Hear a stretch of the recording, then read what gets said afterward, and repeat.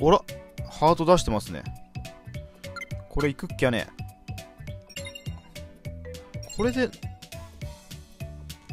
いけるんじゃねえか。キーワードもついでに消化したいんだけどな。アトビさん。来たかはいそれでいいものって？ボロン。いいからついてきな。ついてくりゃわかる。はいわかりました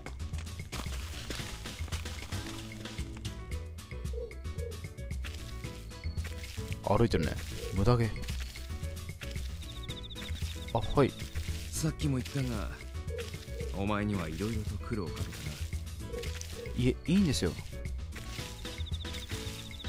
これ触ったら絶対バットんだへえそうなんだ。お前に協力してもらいながら本当のことを教えてやれなかっ確かに。私というね家内には本当のことを教えてくれても仕方ないですよ。跡部さんの立場なら。たそう言ってもらうと助かるつぐみにはちょっと気の毒だったかな。あんなに心配させちゃって。小日向には手塚がフォローしてるはずだ。まあな。あの子は手塚の女になったからな。つぐみのお父さんが無事で本当に良かったですよ。お前はいつも自分より他人を心配するな。家内ですよ家内。無駄毛処理子は跡部様の家内ですよ。私は自分のことならなんとかなるって思ってますから。前向きというより単なるお調子者だあはは照れますよ。な褒めてねえぞ。あそうだ。跡部さんって成績優成績は優秀でしょそうだよなんだいきなり。ちょっと気になって。当然成績は優秀だ。得意科目って何ですか？なんだっけ英語とか？全科目に決ま全科目。ずるいそれは。特に得意な科目に限定すると。こだわるやつだなドイツ語とギリシャ語だ。そんな科目は中学にねえ。氷定学園って英語以外の外国語あるんですか？ああ選択制だがな。すげえ。私立ってすげえな。結婚許してくれないのかドイツ語とギリシャ語ってすごいね。俺のことを聞いたんだから自分のことを聞かれるのもドイツ語ってめっちゃ難しいやつでしょ？え？お前の得意科目は何だ？えー、っとここえー、どうしたらいいんだろう。ベサマえー、これむずくね？ドイツ語とギリシャ語って言ってんだからこう一番近しい国語を行くのか。えここの選択肢って重要？これってしっかり考えなきゃダメ？それともこうインスピレーションでも大丈夫？界で一番難しいのはスペイン語そうなんだ。スペイン語って難しい割にはそんなに使える国がなさそう。でここの選択肢って重要かしら。ここえ正解ってあるんだこれ。えー、ちょっと待ってね。じゃちょっと頑張って考えてみるか。えーっとね話の流れだけでいくならば国語が一番なんかこう近しいかなって感じはするんだけど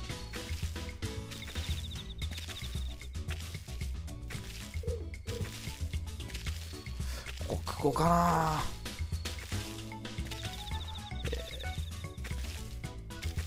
えー家庭科とかがなんか良くない？家庭科？でもどうだろう？家庭科。なんか得意科目で家庭科上げるって成績が優秀な感じはしないんですよね僕からすると。家庭科が得意って女の子がすごくいいんだけどそれは普通の感覚だよね。じゃあ国語なのかなっていう話の流れ的に。国語は結構得意なんですよ。四十語とか詳しいですよ弱肉強食七なんか頭の良さそう。じゃない方がまあそうだねネタバレはんない方がいいかなって。最後に違うのが混じったぞ。うん。なんか今のはあんま良くなかったっぽいな。評定テニス部には副部長がいないんですよね。ああいない。部の方針でな。頂点は一人でいいということだ。でも一人で全員を監督するって大変じゃないですか。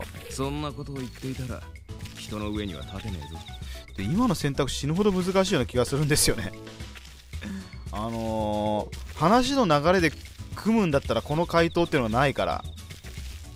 で跡部様はこういうのが得意な女の人が好きみたいなのもないし正解歴史わからん。僕歴史はね選択肢の中になかった僕の中に上に立つ者にはそれに単純な三択ですね責任ってものがえっ、となんていうんですかその noblesse oblige。お前よくそんな言葉知っていたな。すごいね。あはよくわかんないですけどなぜか知ってたりするんです。 noblesse oblige。もともとはフランス語だがイギリスの上流階級でよく使われる言葉だ。この言葉を理解しない奴は人の上に立つ資格がない。おえでもなんとなく貴族主義ですね。当たり前だ。貴族のための言葉なんだからな。だが日本の武士道に通じる言葉でもある。あ言われてみれば。高貴なものにしか負えない崇高な義務を忘れると人は堕落するもんだ。お無償で。好感度が上がっていく。で次のキーワード跡部さんが好きなタイプで勝ち気な人って聞いたんですけど本当ですか？ああ間違っちゃいねえが誰に聞いた？大鳥くんです。あいつ余計なこと。え？なんでもねでそれがどうした？勝ち気な人って具体的にどんな言動するのかなと思いまして。そうだな。自分が正しいと思ったら目上の人間でも臆することなく意見が言えるようなやつだな。ふむふむ跡部さんみたいな人ですね。他には？たとえ窮地に陥っていても強がりが言えるようなやつだ。うんそれも跡部さんみたいですね。もしかして跡部さん自分のことが好きなんナルシスト。くだらねえこと言ってんじゃねえ。自分が嫌いなやつなんかいるわけねえだろ。程度の問題なんですけど。それにさっき言った例えに当てはまるやつは他にもいるぞ。え？誰なんですか？そいつは自覚はねえようだがな。当てくし？なんでもねおいけるかな？これ2個たまるかな？あー半分足りない。半分足りない。勝利か。え？何鳩が豆鉄砲食らったような顔してやがる。間抜けな顔が余計間抜けになるぞ。えーと？返事はどうした？あはいうん。それでいい。あのどうしていきなり名前で呼んだんですか？うん。名前で呼ばれるのが嫌だってのか？あともう一回上がるタイミングあるかな？そんなことないですよ。だったらいいだろうが。でも跡部さんってあんまり他の人のことを名前で呼びませんからびっくりしますよ。俺は名前で呼びたいやつだけを名前で呼ぶ。何か不満か？なんていうかじゃあ私も跡部さんのことを名前で呼んでもいいんですかね？当然だ？敬語で？じゃあ敬語さん。なんだ？あららららこれは出来上がってますね。う微妙な違和感が。嫌ならやめとけ。いえ慣れてみせます。好きにしろ。上がっ上がる上がる。これで上がってマンタルよしよしこれいった。オッケーオッケー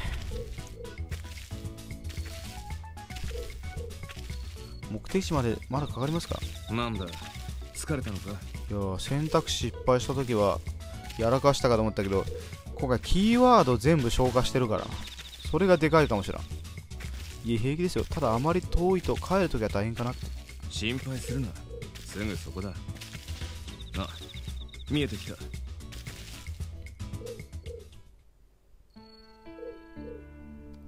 丘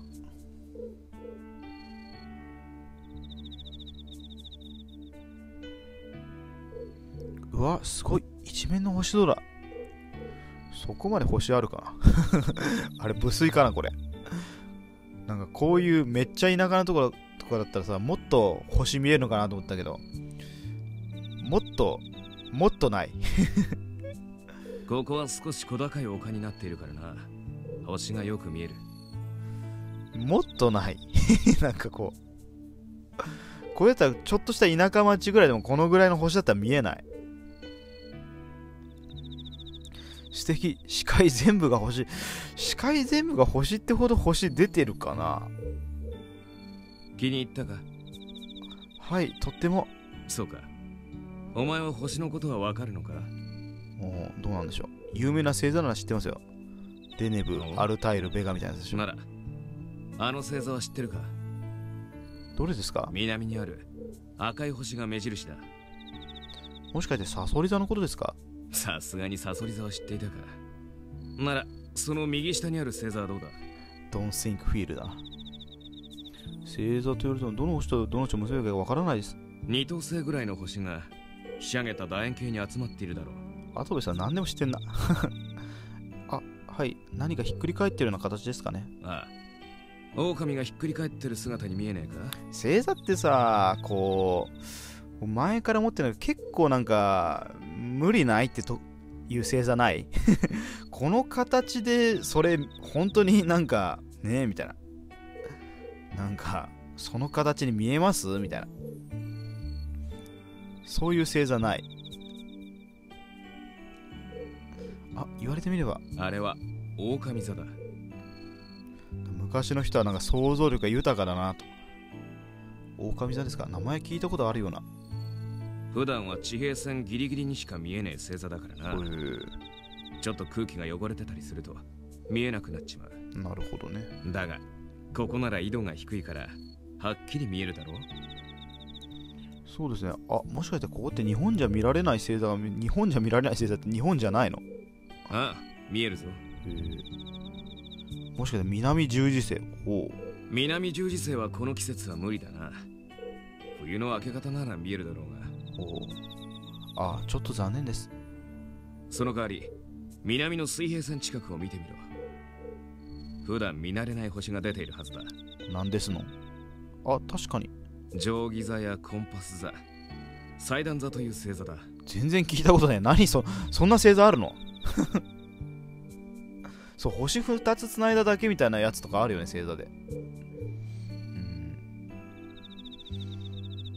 定規座コンパス座祭壇座って俺全然聞いたことないわ定規座 定定規ってあのまっすぐの定規とかだったら本当にどこでも作れそうな感じがするけどな。聞き慣れない星座ばっかりですね。っていうか変な名前です。南半球の星座は後で作られたものがほとんどだからな。へえ。天文学者たちがよく使っていた道具がああ星座なるほど。の名前に付けられた。慶吾さん詳しいですね当然だ。当然なのかい？お流れ星。まあ一瞬だったが確かに流れ星だ。多分跡部さんは心の中でモテたいモテたいモテたいって3回言ったと思いますよ。素敵。また流れてこないかな？ならもう少しこうやって眺めているか？あらロマンチック。はいでもこの星空を見ることができるのも今日までか。どうした？あいえ何でもないです。明日から残り2日間も頑張ってくださいね。私がいないからって無茶しちゃダメですよ。心配です。バカ。俺の方が心配だったんだよ。お前の方が無茶するタイプだろうが。あははそうでした。あらなんか来たぞ。これ以上でも上がらんべカンストしたべ。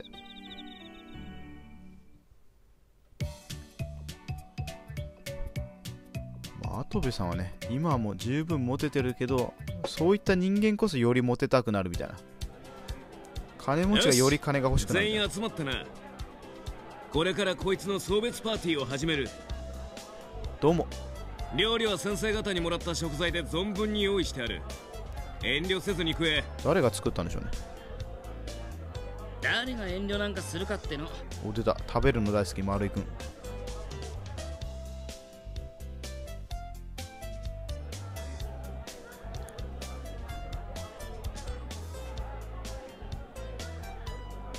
焼肉だー。焼肉。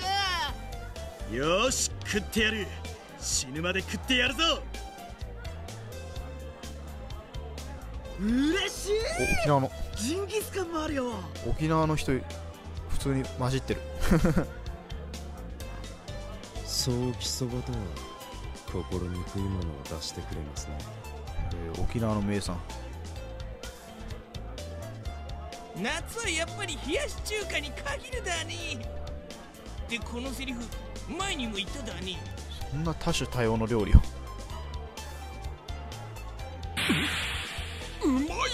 くりした。びっくりした。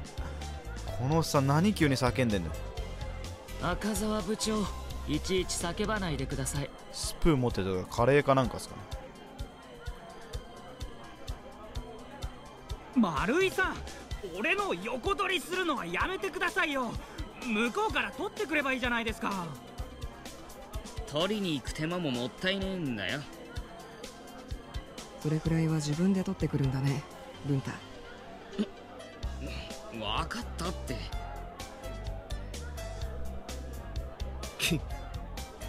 まただだから食ってやるが今回微妙に影の薄かった阿久津くんじゃないですか。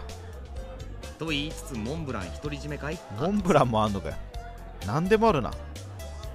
てめえも欲しいなら取ってこい。ちょっとしたバイキングより何でもあるなこの素朴なコロッケの風味がいいよな。南くんはコロッケが好きなの？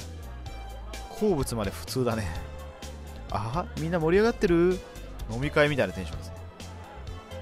お前酔ってる？アルコールなんかないはずだぞ。酔ってませんよ。酔ってるやつみたいなセリフだな。雰囲気に酔ったって感じかな。はいみんなとも明日でお別れだもんね。明るく行かなきゃ明るく。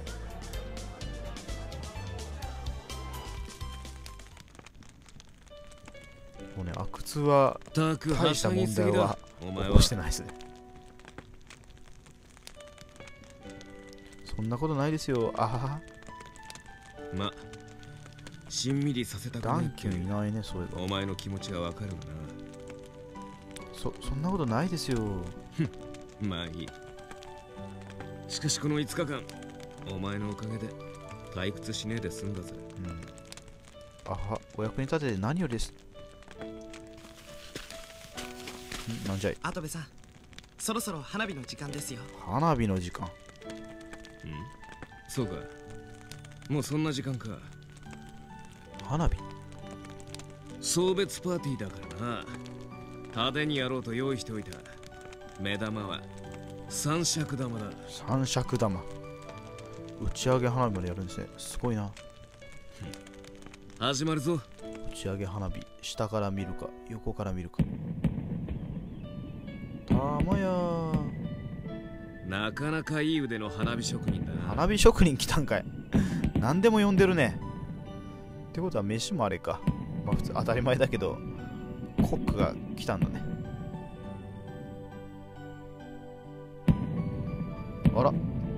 ケメンじゃないですか。そうだろ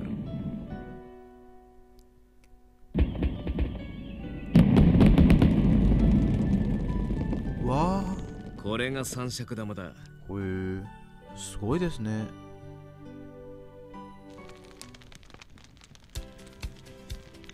今のが最後だね。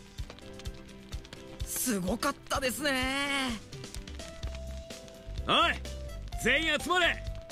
記念写真を撮るぞ。記念写真？まあいいでしょう。確かに。記念ではあります。なんか沖縄の子ら加速的に素直になってきてるな柳沢シャッター押せ。取り返すかのように素直になってきた。な了解だに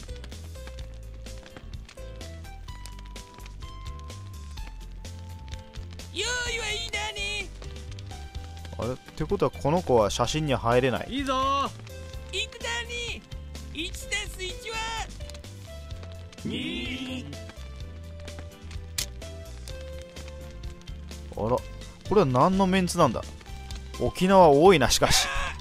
俺が入ってないだに。いや君以外にも入ってない人はいっぱいいるぞ。このメンツは何のメンツ？え？何このメンツ？この雰囲気の悪そうなメンツは沖縄3人に阿久津っていう。なんか組織としてはちょっとまずいんじゃないかっていう。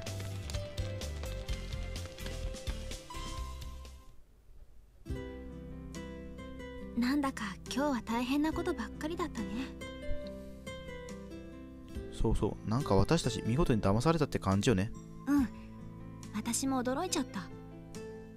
でもさこの5日間結構楽しかったねそうね。でもそれも今日で終わり。明日にはもうこの島ともお別れか。寂しそうね。処理子それはねせっかくみんなと仲良くなれたのにもうお別れなんて。じゃあさ明日の朝が最後のチャンス。だよね。へえつぐみあんた意外と大胆になったわね。そう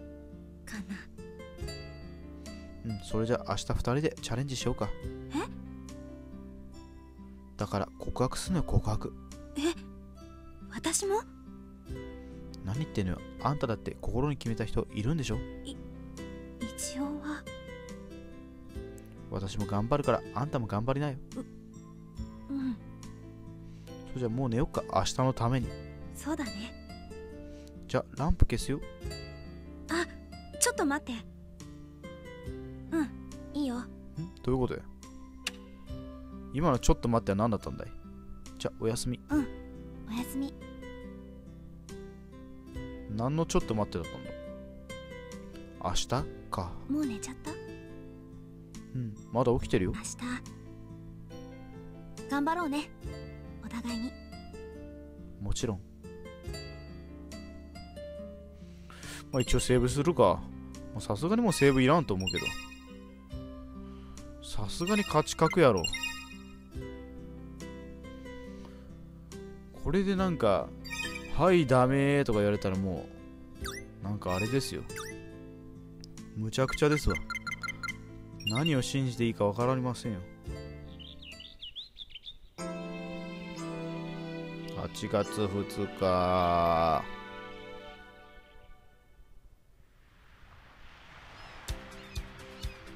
ねえつぐみこの船ってもしかして。うん。私たちが乗ってきた船。だと思う。確かに攻略キャラを間違えればそうなるかな。元気だったかつぐみ。あお父さん。若干四角い感じのお父さん。おじさん。つぐみ心配かけてすまなかったな。よかった。お父さんが無事でうん。よかったねつぐみ。すまんな。私がもう少し早くお前たちの船室に行っていればこんな苦労はさせなかったんだが。ううん。いいの。これでも結構楽しかったし。そうか。お前たちが無事なのは監視カメラで知っていたが少し大人びたようだな。無駄毛もボーボーになりましたわ。そう？ヒゲだるまです。わあのおじさん聞きたいんだけどあの船もしかして。ああそうだ。お前たちが乗っていた船だ。じゃあ座礁したのはやっぱり。ああわざとだよ。そらそうよ。だから沈没もしていない。お前たちが残っていてくれたら予定通りそのまま南の島まで行くはずだったんだがでもそのおかげで南の島よりもっとスリリングで楽しい経験ができたからいいですよ。もうじき運んできた荷物も下ろし終わる支度はできたかあもうちょっと待って。やらなきゃいけないことがあるから。そうか。じゃあ船で待ってるぞ。うん。決心できた？うん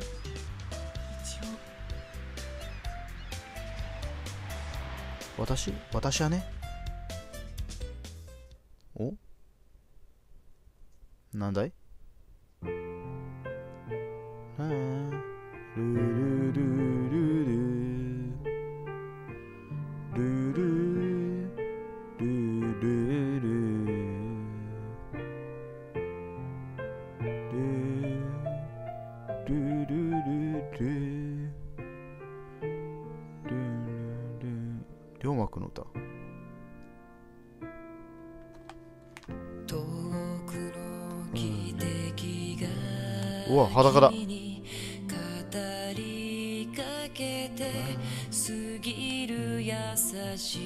ネタバレがガンガン。裸だ。裸多いな。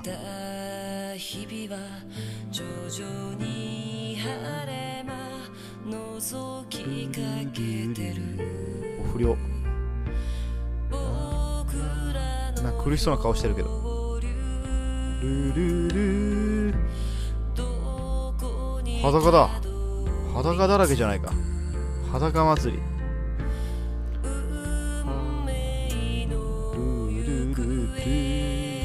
裸だ。裸パーティー。キラリン。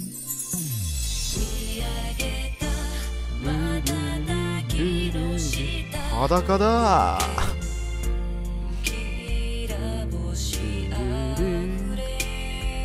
何やってんだ君は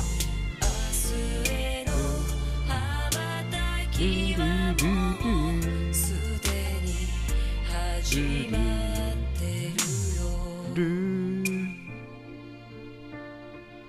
の裸好きじゃねえよ別に。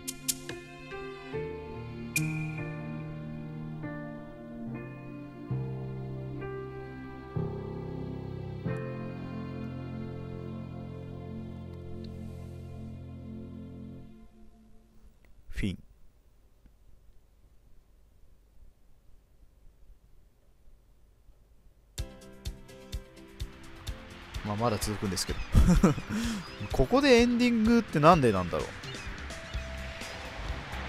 うん決心ついた。それじゃあお互い頑張ろう。うんじゃあお互いの相手を呼び出し合おうか。え？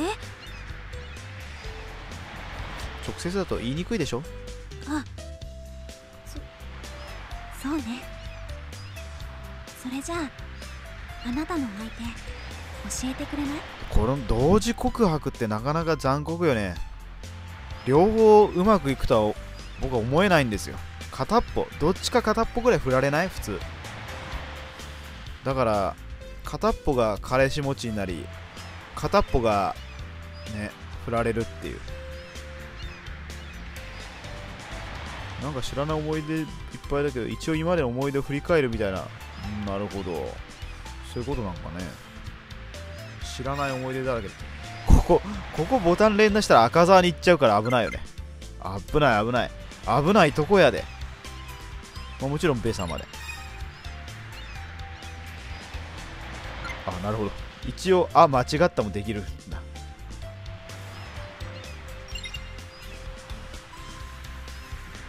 慶吾さん。分かった。まあ両方うまくいけばいい。私はね一番最初に出るのはメインゲーム。でもどういうことなんだろう？赤澤が一応一番上になってるっていうのは。誰やねん君の相手は、まあ手塚だべ。なんかあれでね。これときめも GS2 っぽくない？これ分かる人にしか分かんないと思うけど。ときめも GS2 にこんな場所なかった？なんかなかったっけ？俺の記憶違い？名前なら葵くん。確かにそうだね。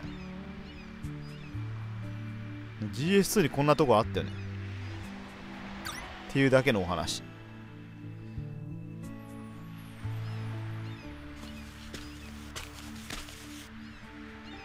勝利子あ慶吾さん。小日向に言われてな。お前がここで待ってると。で俺に何の用だ？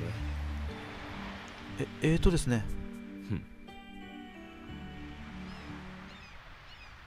えーとその。なんだ。はっきり言え。慶吾さんは好きな人っているんですか？俺は女には興味ねえ。何ホモだったのか？やっぱり跡部様そっちだったのか？やっぱり川地とそういう関係だったのね。え？たった一人を除いてはな。あらこれかっこいいな。俺俺もこれパクロ 俺もこれパクロ俺は女に興味はねえ。たった一人を除いてはな、うん、パクロまんまパクロえ？わからねえか。そいつが誰か。えっとわかりません。やはりそうか難敵だったわけだぜ。ああの私？教えてやる。俺が好きなのは。お前だ。あららららら。え？本気で驚きやがって。わからなかったのか。こういうゲームの主人公は鈍感やからね。ははい全然。たく。まさかこの俺に告白させるとはなあの私私も慶吾さんのことが好きです。ああそうだろうな。勝利子で台無しなっとらんわ。むしろ相乗効果で良くなってる。えバレバレ？お前は分かりやすい。だが言葉にしてくれたのは嬉しいぞ。この俺のインサイトをもってしてもお前の気持ちを完全には読み切れなかったからな。ああの。お前の気持ちがはっきり分かった以上こういういやいやいやななんすかなんすか。言うなよ。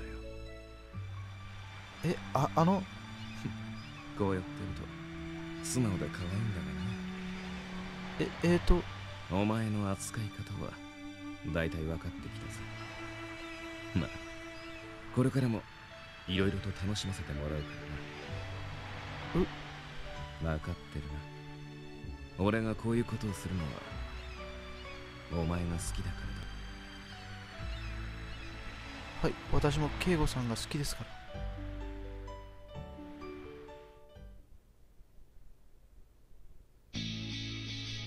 これはね唇を奪われたっていうことで OK?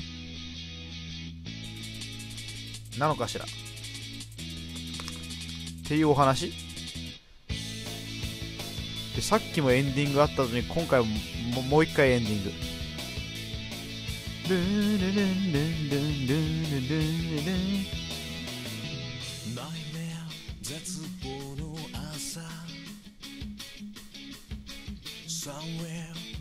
これ誰が歌ってんの？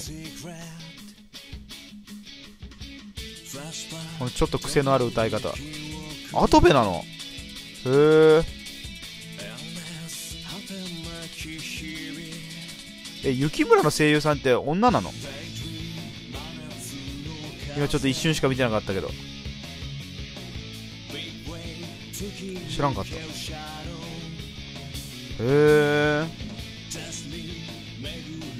そうなんだ。確かに声は高いなって思ったけどワンチャン男の人がやっててもなんかおかしくないなって感じだったからなんか上手やね。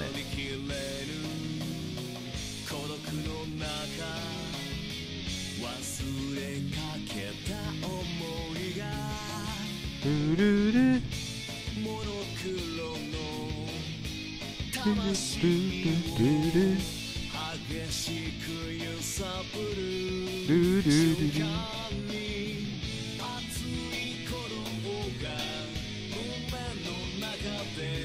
これってさ海海編だと誰攻略しても跡部様の歌になるの？まあそりゃそうだと思うんだけど。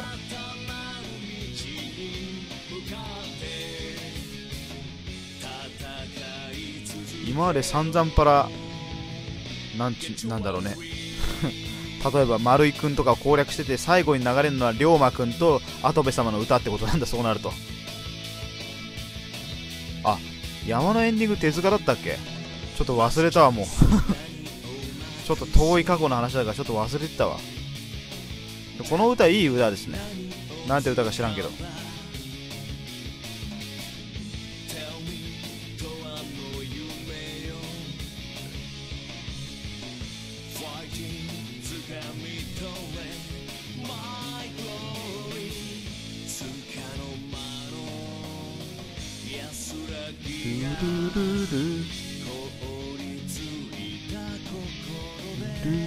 ル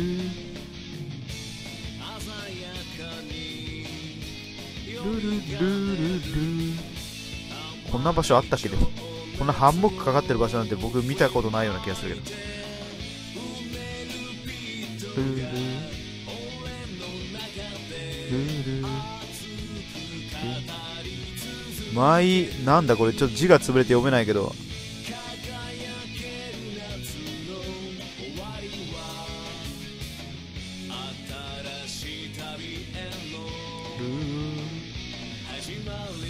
始まりマ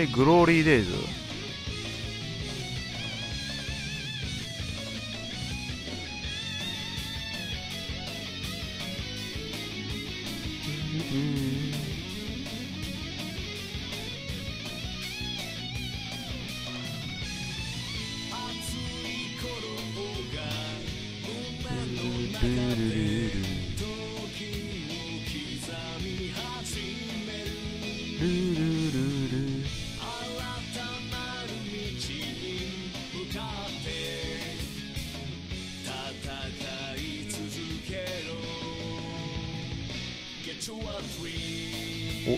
全員集合写真。それぞれのキャラソンがエンディングだったら水木ちゃん確かにキャラソンがないからね。水木ならナレーション。それはそれでいいかもしれない。ここまでご視聴いただきうわ。びっくりした。一瞬一瞬誰かと思った。ベ様よね。一瞬マジで誰か分かんなかった。持ちいいですねって。大丈夫ね。馬に乗ってるんだよね。変なことしてるわけじゃないですねそうだな。ああ本当に？夢みたい。お前さっきからそればっかりだな。うんこの帽子はあまり似合ってないの正直。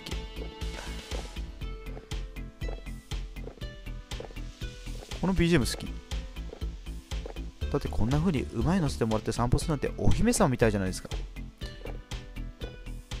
かも手綱を引いてるのはかっこいい彼氏なんですから最高です。確かに勝利子このまんまの服なんだ。このパーカーなんだ。もうちょっと服考えなよって話だよね。みつさん心が汚れてる。みつさんの心むしろ綺麗。むしろ素直説。お前あんまり姫って感じじゃないだな。うん。それはあるな。ああそれ言いますか。いいですよ。自覚ありますもん。そうなのか私女の子らしくないし気が強いしお姫様みたいにか弱くないしけどそれでもいいんです。夢を見るのは自由なんですから。ま夢を見るのは自由だな。だけどちょっと訂正させろ。え？お前の気の強いところ俺は気に入ってる。それを欠点みたいに言うな。あはい。次。俺はか弱い女ってのは好みじゃねえ。だいたいお前細い方なんだからこれ以上弱そうになってどうする？腕とかも十分細いだろうが。それもうちょっと太れと。やだもう触らないでください触ってんのちょっとやめなさいよエッチ。最後。お前は十分女らしいもうちょっと自信を持て。あら。そうですか。例えばどんなところが？ほう。知りたいのか？どこが？どこが女らしいんです？その笑い方の時って何か企んでる時だからやっぱりいいです。遠慮するな。ちょなんで歩くの止めるんですか？揺れてるとやりにくいだろうが。やりにくいでえ何何何する気だい？うここ外なのに。誰もいない。気にするな。もう。お前はこういう時は本当におとなしくなるな。女らしくて可愛いぜ知らない？ほらこっち向いて。わ。目閉じろ。キスしにくいだろうが。キスしにくいだろうが。キスしにくいだろうが。いつも強引なんだから。なんかちょっとなんかアダルティーというかね中学生ってこんなんです？馬の上でいたしちゃう。これこれこれこれさすがに馬の上でいたすのは死人が出るさかい。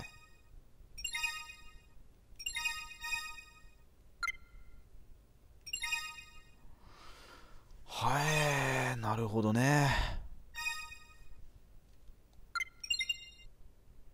コナミ。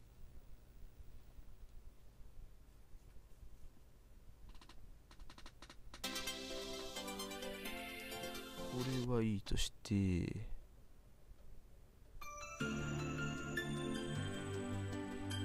テニスの王子様ドキドキサバイバル。お誰だい？いやーまあそんなこんなでえー、終わりでございます。いやーなんとか今回もえー、時間内にクリアできてよかったかなと思いますいや皆様お付き合いいただきありがとうございました最後まで。いやー6時間内にね終わってよかったですね本当に。うん。いや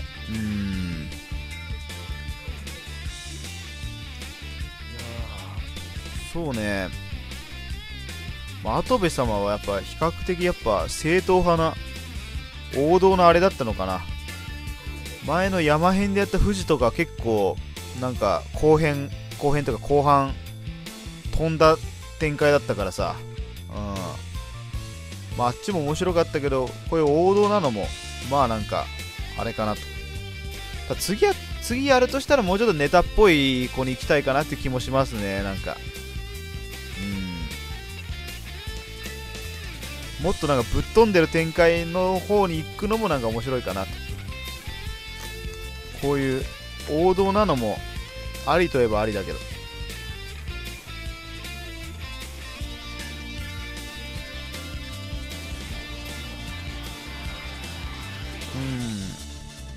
また次いつやるかちょっとわかんないんだよね。またなんかやるよってタイミングに教えていただければ。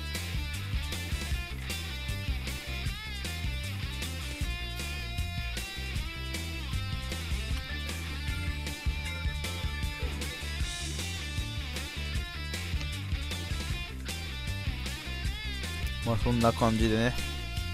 えー、まあテニスの王子様ドキドキサバイバル。海辺のシークレット、えー、跡部敬語編でした、えー、ご視聴いただきありがとうございました、ま、またね山か海か分かんないけどあのー、ね2週目はなんかいつかやろうかなと思っておるので、まあ、その際は、まあ、何卒よろしくお願いいたします。